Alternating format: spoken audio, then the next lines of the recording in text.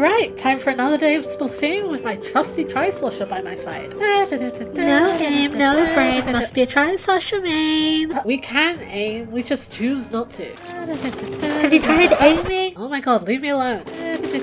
You're using a skillless weapon. Oh my god, enough! I'll show you a thing or two about aim. Let's see, what have we got here? Oh, I don't know. Give me that squiffer. I'm gonna prove to you that I know how to aim. Alright, let's go. Actually, I should probably warm up a little bit in the training room first. Nothing to do with my aim or anything, but because I've never used this weapon before, you know? Alright, time to warm up with the squiffer. Boom, you're dead. You're dead. You're dead. Was aiming supposed to be hard or something? Yeah, I got this. This will be a cakewalk. I'm landing like 10 shots minimum every game. Come on. Okay, I totally got this. I was practicing the training room and I was hitting every... Okay, this person's obviously lagging, right?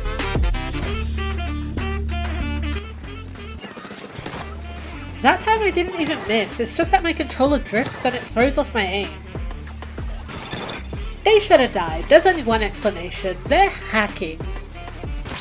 Oh my god, when is this game gonna fix this lag? This lobby obviously has something wrong with it. I'll go to a different one. Two hours later. Okay, so I'm in my, what, seventh different lobby? Yeah, yeah, I'm in my seventh different lobby, and I'm starting to realize it, uh, it might not be lag, and people probably aren't hacking.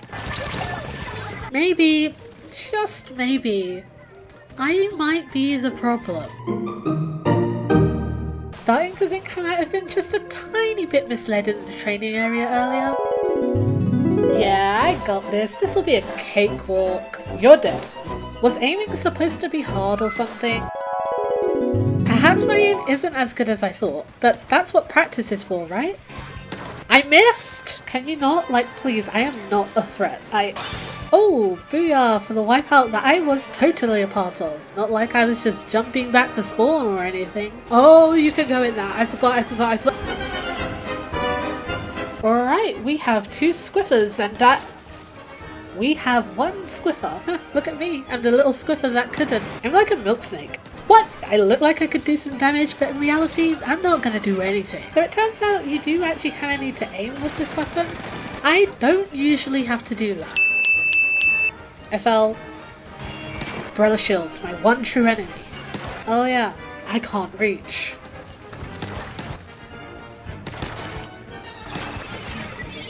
Okay, so I clearly was not as good as that as I thought. Turns out aiming is kind of difficult, but I know what I need to do.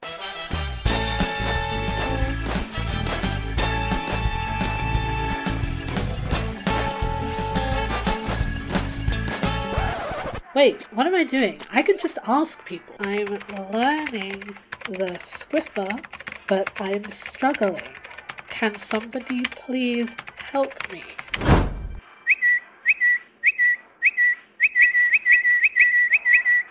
Oh my god, you guys are no help.